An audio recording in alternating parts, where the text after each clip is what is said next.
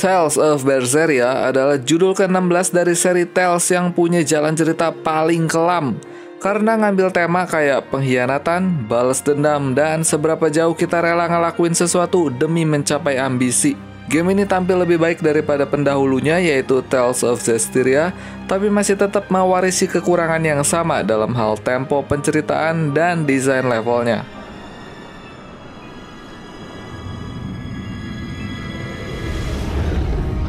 Berseria berfokus pada seorang protagonis wanita tunggal untuk pertama kalinya bernama Velvet yang karena suatu kejadian tragis dan menghancurkan hidupnya akhirnya memulai petualangannya untuk membalas dendam. Velvet bukan kayak protagonis seri-seri tel sebelumnya yang penuh kebaikan. Justru dia bisa dibilang kejam, dingin, dan penuh aura negatif. Banyak twist cerita lainnya di game ini dan terus terang Berseria akan semakin menarik buat diikutin. Bukan cuma Velvet, karakter lainnya juga disorot dengan sangat baik dan gamer akan tambah mengenal kepribadian juga latar belakang mereka masing-masing. Tapi setengah dari anggota kelompok kita bukan manusia.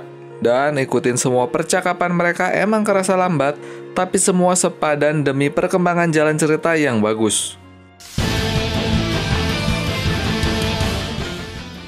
Sistem pertarungan dalam Tales of Berseria masih tetap berjalan secara real time. Tiap kali gamer ketemu sama musuh yang kelihatan berkeliaran di tiap area.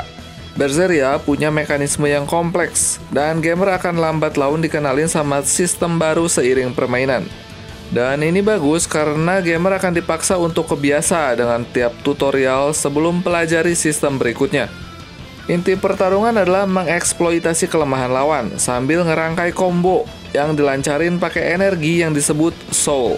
Semua jurus serangan kita akan ngabisin sejumlah soul dan kita harus nunggu sampai soul itu keisi ulang sebelum bisa keluarin jurus-jurus lagi.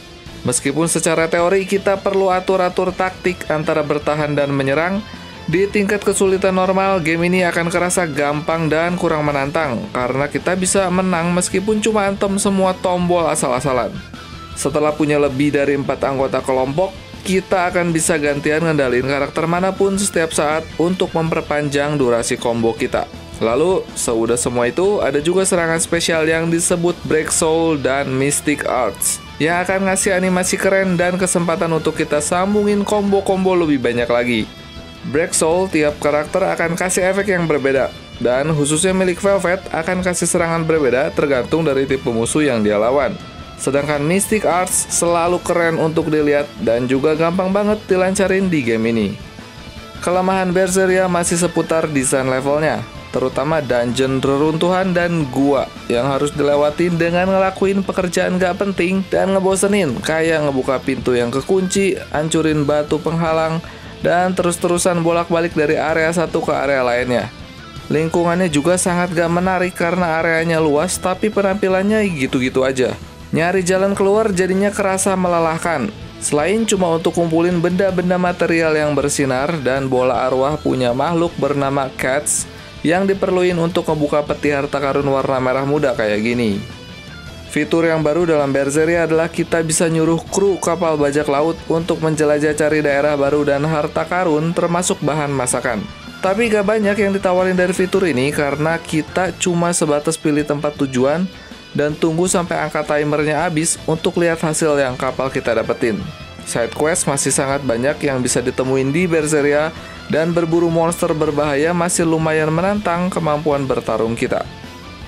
Ada banyak settingan grafis untuk nyari pengaturan terbaik dan dapetin pengalaman bermain yang paling optimal di PC kalian. Di PC saya sendiri frame rate ngedrop kalau masuk ke kota yang terbilang luas dan banyak warganya maksa saya untuk turunin sedikit settingan jarak pandang dan lain-lain. Terus kalau waktu bertarung sih jarang banget frame rate ngedrop, kecuali kalau ada terlalu banyak efek visual di layar. Adegan-adegan yang ngasih animasi yang dibikin dengan baik, tapi beberapa percakapan sering diganti ke animasi dua dimensi sederhana yang bergaya komik. Untuk ukuran game PS4 sih, grafis game ini terbilang di bawah rata-rata. Sedangkan untuk segi musik, menurut saya ada beberapa track musik yang unik dan mengiringi beberapa momen dengan pas, tapi sebagian besar sih kualitasnya biasa-biasa aja.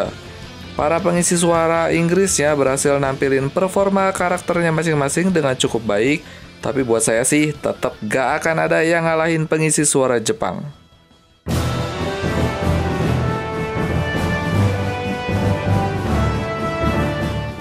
Tales of Berseria adalah salah satu JRPG bergaya anime yang punya cerita menarik dan gameplay pertarungan real-time yang lumayan seru. Pasti kerasa rame buat para fansnya, meskipun mungkin gak akan bisa memuaskan sebagian gamer lainnya. Tapi Berseria adalah game Tales terbaik dalam satu dekade terakhir ini, dan banyak yang mengakui kalau Berseria adalah seri Tales yang bagus dan menempati peringkat atas dari daftar game Tales yang harus dimainin. Emang masih kerasa gak banyak inovasi dan game ini gak berusaha menjangkau segmen gamer yang baru, tapi jalan cerita Berseria sanggup bikin saya penasaran dan main sampai lupa waktu. Ya, sekian aja ulasan singkat saya untuk Tales of Berseria ini. Semoga bermanfaat buat kalian dan seperti biasa, makasih banyak udah mau nonton. Nantikan ulasan game lainnya cuma di channel ini dan sampai ketemu lagi di video berikutnya gamers. Saya Freddy, undur diri dulu.